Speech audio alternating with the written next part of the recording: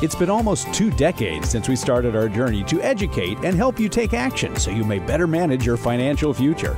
Our goal is to help you accomplish your life's purpose. This podcast reveals financial tips, strategies, and insights that will help you to set your financial goals and guide you along the way. This is Managing Your Financial Future, brought to you by the advisors at Lucia Capital Group.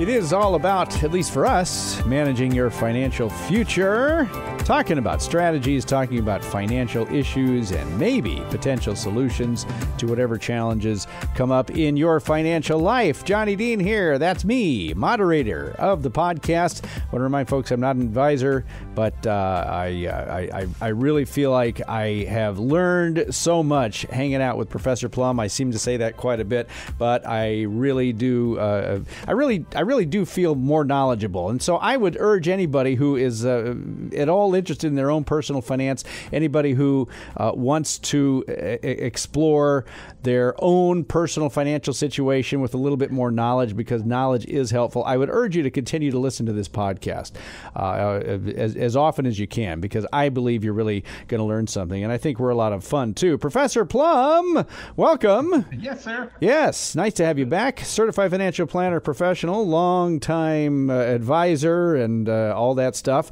30 years now. I like to mention your credentials because I think it's important. It's important to know that experience counts. I've been dealing at I, have been dealing in my house. So we, we, we've got flooring people in, and I've got painters, and I've got all this stuff. And I tell you what, Professor, the people with the, the when they tell me, "Hey, I've got 30 years experience doing this. I know what I'm doing," it shows. So when you tell me you've got 30 years of experience doing uh, uh, financial planning, uh, it, personally, I would say I think that's a very positive thing. And the only thing I would say to that is it's 30 plus. well, 30 plus. I don't want to age you too much here, you know? Oh, I'm old. I can admit it. I'm getting there. You're getting there. You turned a major corner this past year, Professor Plum. yeah, whatever. I'm not quite there yet, but give it a couple more years. Anyway, you know where you you you're approaching. I can tell people that you know you you, you hit your, your, the beginning of your seventh decade, which means you're 60. Okay, I just want to put you in that in that crowd. But do you believe? Would you believe, Professor Plum, that you will be eligible for?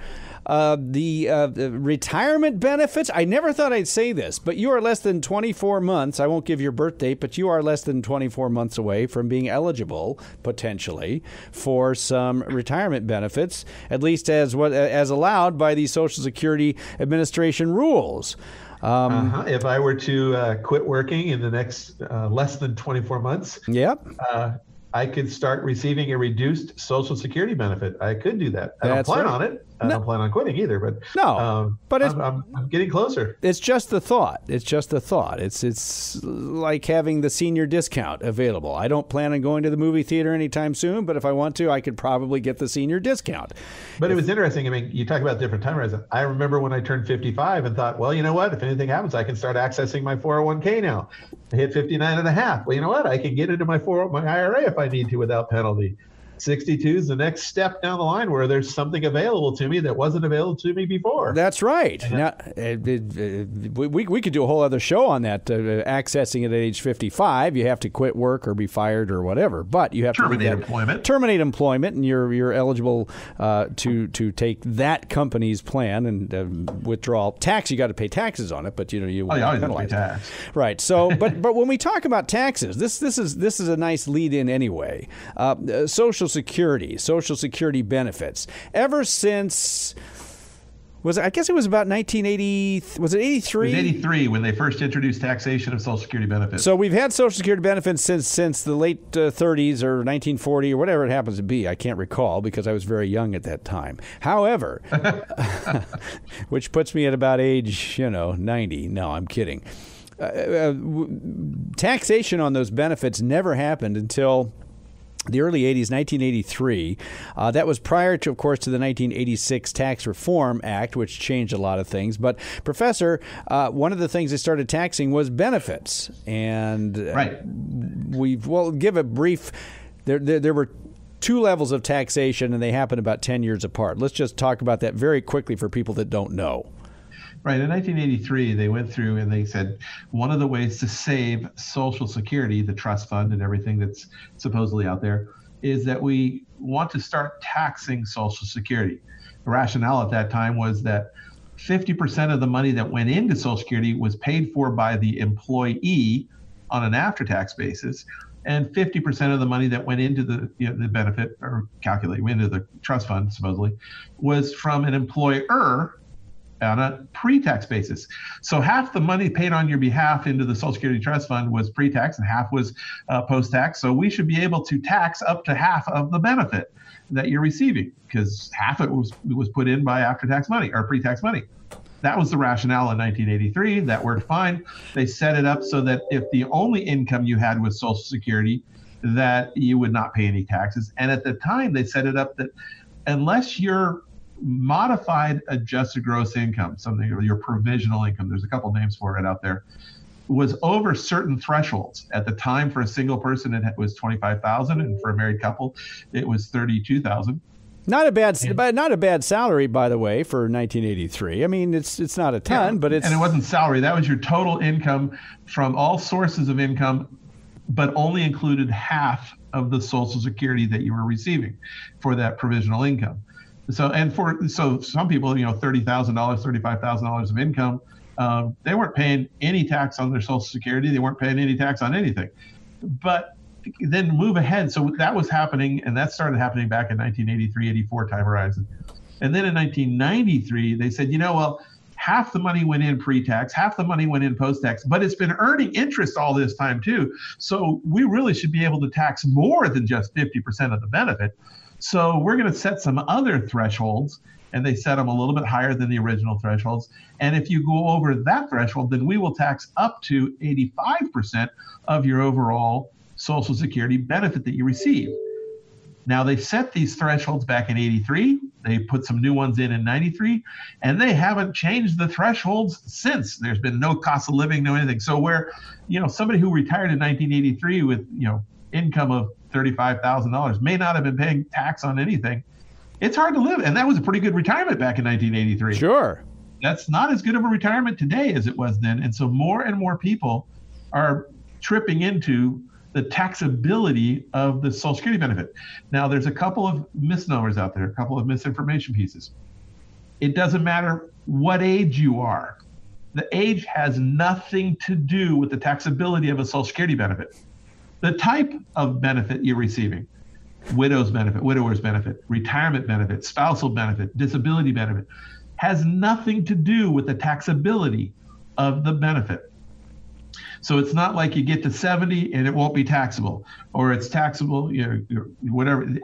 Age and the style of benefit has nothing to do with it. Big, it all has yeah. to do with what other income do you have? If Big you have no other income, your Social Security will not be taxable in today's world. Now, if you have other income, IRA distributions, interest, dividends, capital gains, uh, pension, anything, it goes into it's all th- the only thing that's not thrown into the hopper for this are di- qualified distributions from a Roth IRA. They don't show up in it. But even tax-free municipal bond interest, which isn't taxable, is put into the formula to determine if any of your Social Security is taxable, and if so, how much? And as we said before, up to 85% of the benefit that you receive could be taxable. Under current law, that's the maximum, not the tax rate. That is not a tax rate. That is how much of the benefit. So if I'm receiving $10,000 in benefits, at the most, $8,500 of those would be taxable. And so, how much do I pay in taxes on that? Well, it depends on how much other income I have. Uh, so it's it's a formula. It's a crazy formula. Uh, don't really want to get into it No. right here. But if your income, which is all sources of income plus half the Social Security, exceeds twenty-five thousand for a single person, thirty-two thousand for a, a married person, then some of your Social Security is going to be taxable. So for those who thought their benefits would never be taxable, and in some cases they could go along, I guess, for what a few years maybe, or would uh, and, and not have taxable uh, benefits, and all of a sudden they they do become taxable. I mean, have, have you seen that? We have seen that where somebody retires at you know 62, 63, they've got a small pension, they get their Social Security, and those two pieces combined uh, don't reach the limit of taxability of Social Security. They don't reach the limit of taxes, you know, and they're living comfortably. And then they hit 70. Well, in the old days they hit 70 and a half. Now age 72, and they get a required minimum distribution, and they have to start taking their RMD out, and that RMD throws their more of their Social Security into taxation and also is taxable itself. And so it can really jump a tax bracket if that's not paid, you know, if you're not paying much attention to it. Well, you know, one uh, of the things you've talked about often is is tax management. Uh, is there a way potentially to manage the taxes on Social Security, or is it more a case of, well, uh, here's how much you made. There's really nothing you can do about it. Well, it depends. I mean, there's sometimes where there's nothing you can do about it because you've waited too long, and now you're 70 and 72.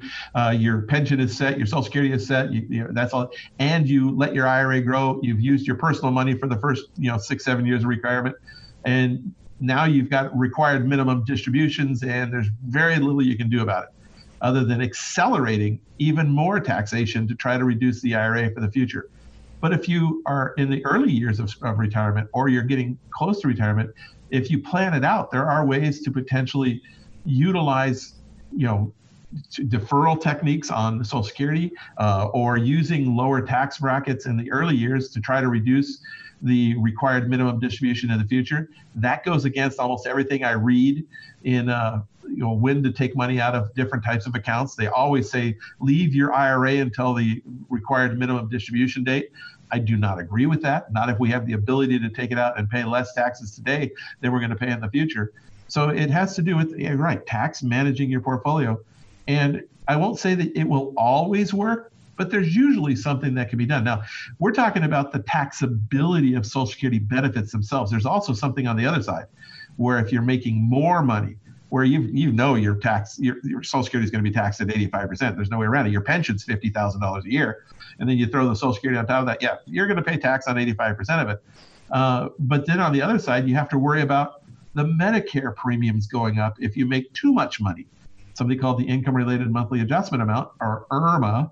Uh, and so you want to be able to look at both sides of the equation. How do I work this? Where is that sweet spot that I can pay some taxes and not too much today and try to keep myself out of the higher taxes in the future. It's um, something that I th- I think a lot of people don't think about um, when they're making. Well, no, they don't even hear the fact that I mean, maybe their parents never paid any tax on their Social Security. Maybe you know their friends have retired and they don't pay any tax on their Social Security, and so they they just have never thought of it before. And all of a sudden, boom, they're gonna they say, well, I'm gonna get you know, thirty, forty thousand dollars between my spouse and I and Social Security, and another twenty, thirty, forty thousand dollars, whatever it is, from pensions, and I've got this IRA distribution. So I'm only going to pay tax on the pension and the IRA distribution. That won't be so bad. Uh, and then boom, a big chunk of their Social Security is taxable as well, and their taxes go up a lot. And it really can affect a surviving spouse, where everything was going along okay, and maybe you know they were in a position where they didn't have a whole lot of taxability on their Social Security but then one of them passes away, the lower Social Security goes away, and their tax brackets, the brackets, the amount of money you can keep in a bracket without going to the next bracket is about in half of what it used to be. So now that surviving spouse has more taxation, more taxation on their Social Security and less income to deal with. Their expenses go up and their income goes down. That is not a great situation. So you have to plan for that as well. And it can be difficult if you don't know that taxes are potentially going to happen, I would assume. Do you see. Yeah, if you don't know it's there, it's hard to plan against it. Well, absolutely. Now, do you see these problems cropping up for people more often when it comes time to, as you were, you were talking about required minimum distributions, when it comes time to take required minimum distributions, especially if they uh, had not, uh, if they don't need the money and they've kind of ignored the fact that RMDs are around the corner? We see it cropping up mostly with people who have not done any planning and talked to anybody that uh, knows about these you know pitfalls that are coming up and then they come in and they say I've started my RMDs and my taxes got jacked. They, they skyrocketed. Why? What can I do about this? What did I? What did my tax preparer? What did I do wrong? And it's like, well, you you had to take the money out. I mean, there's nothing you can do about it. So now, let's talk about ways to manage that. And in some cases, managing it means taking more out up to certain limits to try to reduce the future required distributions, to try to reduce the future uh, distributions for a surviving spouse. Maybe this is where Roth conversions come into play. Now, obviously, you cannot convert an RMD. Thankfully, we do not have a required minimum distribution for any account in 2020, but 2021 we're going to have them back, and mm-hmm. so we have to look at over and above the RMD, maybe one that, you know, you're already complaining about taxes, so I'm going to tell you to pay more. Rick, are you crazy? Yeah, um, maybe maybe I'm crazy, but in some cases it makes more sense because you know a little pain today for a lot of gain tomorrow that can sometimes work, and sometimes you're just in that hole where no matter it's a catch 22 no matter what you do it's going to hurt well and, and, and maybe you can have some consolation and say well i've got a very large required minimum distribution but that also means it's because i got a very large ira or 401k or whatever it right. i mean taxes so in, in taxes are a good problem they can be. For the, Not every for the time. type of person that we're talking about now, where they've got a required minimum distribution that they don't need, and they have to pay taxes on it, and they're complaining about the taxes. We all want to be in that situation. We all want to have too much income, and the fact that we have to pay taxes on income we don't need, you know, that's a good problem. So the, the, the bad problems are where you don't have the income so what? You don't have any income taxes, but you don't have any income either. So if, if if I've got if I know this, if I've got a, a, large IRA, let's say, or a bunch of money in IRAs, and I know I'm going to have a fairly high, uh, or in some cases a very high required minimum distribution come age 72, um, and it's you know it, it's coming up. Um, how soon in advance should I start thinking about this stuff? I mean, I would think and I could be wrong, but I would think that if I'm just a couple of years away from you know age 72 and RMDs are staring me in the face, that there's less I can do. How early should you be looking at this stuff?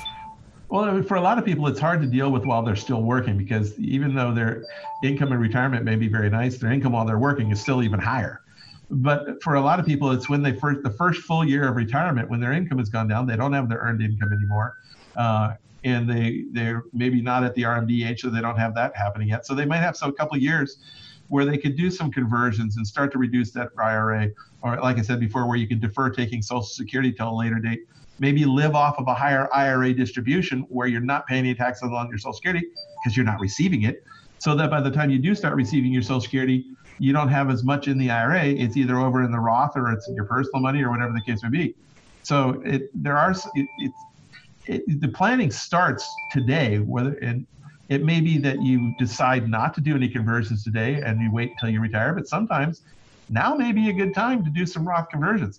2020 may be a great time to do Roth conversions because for some people their income is a lot lower than in normal years.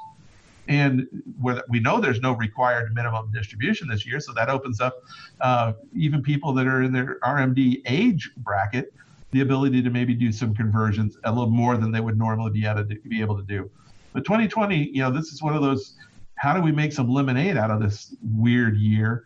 Uh, if your income is down this year, maybe this year is a good year to do a Roth conversion. Could be some some potential planning opportunities out there. Um, we haven't heard yet, at least uh, not as of this recording, about the potential of uh, also having no required minimum distributions for 2021. Uh, I guess that could change, but as of right now, the normal required minimum distribution rules will apply for 2000 uh, uh, for 2021. Correct? Currently, that's the way we're. That's what. Yeah, the the wave of RMDs was only for tax year 2020. They would have to actually get together and do something to waive them again in 2021. And good luck with that. I don't think anything's going to happen on that front. Uh, interesting stuff. So there there are some potential solutions, Professor, to the Social Security taxation problem. One last thing I think we should we should clear up because I know people have asked this, and I found a question online where somebody had said, "Wait a minute, you threw about around this number, fifty percent, eighty five percent. You mean to tell me that I've got an eighty five percent tax rate on my Social Security? That's going to kill my entire payment." Um, well, actually, I, I, mentioned earlier that is not the tax rate. Yes. The tax rate is whatever your normal that. tax rate is, you know, 12, 22, 24%, uh, maybe 10%. That the 50% and 85% number is how much of your benefit could be subject to taxes. Now, it's also not a trigger. It's not that I go over the, the threshold. I said the, the single threshold was 25,000. So if I go to 26,000, it doesn't mean boom, 50% of my benefit is taxable. Now, the formula is it, it phases in that 50% number. So 50% of the amount over the threshold yeah. is taxable. When I get to the 85% threshold for uh, a married for a single person, it'd be what 25, $34,000. if I go to 34,010, I don't boom, 85% of my benefit doesn't become taxable over a 10,000 or a $10 difference in my MAGI. Okay, it's, so it's just the amount over. That phases yeah. it in. Yeah. And it is very dependent upon where the money is coming from. Uh, it's all about what other income you have and how how much your taxes. I mean, you can have somebody that makes fifty thousand dollars that have a very fifty thousand combined of total income, and have very very different taxations. One of them has you know thirty thousand from Social Security and twenty thousand from uh, a pension.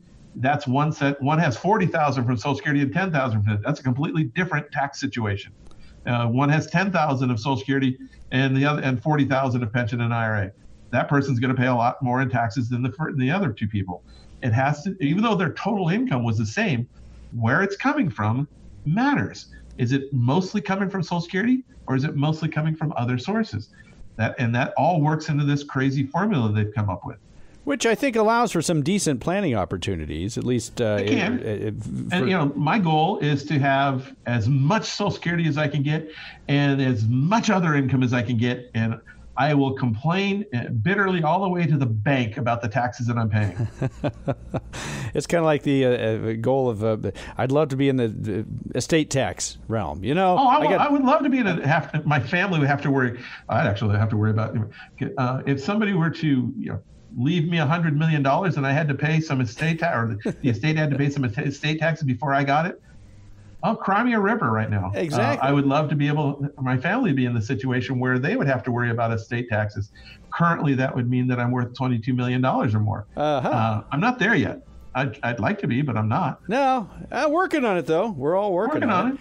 Uh, if you'd like to work on your finances, I'm not promising that you're going to be worth 22 million dollars. Absolutely not. But if you would like at least to talk to somebody about your social, uh, not just your Social Security, but the taxation of your Social Security benefits, there are a lot of other uh, decisions that need to be made with Social Security, and oftentimes it can revolve around things like taxation and required minimum distributions. If that's you, you can talk to Professor Rick Plummer, any of the Lucia Capital Group advisors, 800 644 1150, the off air number at Lucia Capital Group, 800 644 1150. You can also get some more information. You can uh, email, you may already know this because you're listening to the podcast, but you can go to our website, luciacap.com, L U C I A C A P, luciacap.com, and get in touch with with the pre- uh, uh, professor. I'll find some also find some uh, articles and things like that there if you need some more information. We're we're all about uh, education, and we believe that an educated investor is potentially a much better investor. Again, 800 644 1150, our number. My thanks to Professor Rick Plum.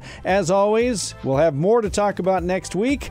Uh, I'm Johnny Dean for Professor Rick Plum. This has been Managing Your Financial Future. I thank you again for listening, and we will talk to you again on the next podcast podcast. The information provided should not be considered specific tax, legal, or investment advice and is not specific to any individual's personal circumstances. To the extent that this material concerns tax matters, it is not intended or written to be used and cannot be used by a taxpayer for the purpose of avoiding penalties that may be imposed by law. Each taxpayer should seek independent advice from a tax professional based on his or her individual circumstances. This material was gathered from sources believed to be reliable. However, its accuracy cannot be guaranteed. Different types of investments and or investment strategies involve varying levels of risk, and there can be no assurance that any specific investment or investment strategy, including the investments purchased and or investment strategies devised by LCG will either be suitable or profitable for a client's or prospective client's portfolio. Thus, investments may result in a loss of principal. Accordingly, no client or prospective client should assume that the presentation or any component thereof serves as the receipt of or a substitute for personalized advice from LCG or from any other investment professional. You should always seek counsel of the appropriate advisor prior to making any investment decision. All investments are subject to risk, including the loss of principal. This material was gathered from sources believed to be reliable. However, its accuracy cannot be guaranteed.